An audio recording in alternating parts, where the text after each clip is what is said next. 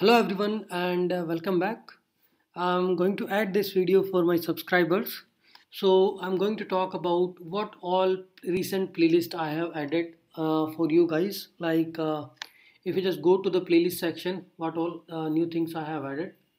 So I have added like uh, full stack application development and uh, Nest.js with the TypeScript and TypeORM.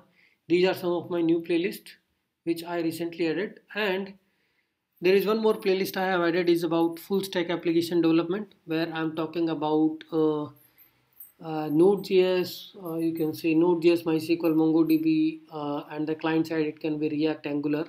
So it is like a full stack where you are using client side at the React Angular Vue.js and at the server side you might be using some Node.js with uh, some framework like Koa, Hapi, Express or might be Nest.js and I'm I'm providing the courses and training for both REST based implementation and GraphQL based implementation.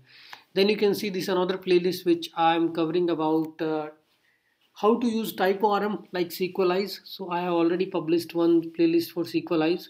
This is about TypeORM. This is a ORM for uh, MongoDB or you can say the MySQL. So how to integrate your Node.js with the TypeScript and TypeORM.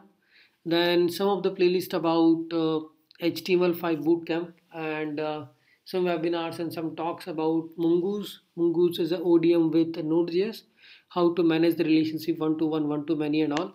And I have a good course on JavaScript which is talking about everything, which is about like learn JavaScript crash course. Okay, so this is about all the different new playlist which I just recently published. Okay, in this we will talk I, I talked about nest.js I talked about uh, how you can write node.js code with the TypeScript. Uh, then I talk about the latest features of React. I talked about the Docker and uh, how we can do a GraphQL implementation with uh, client side and server side with the help of Apollo. Like we can use Apollo client with React and Apollo server with the Express.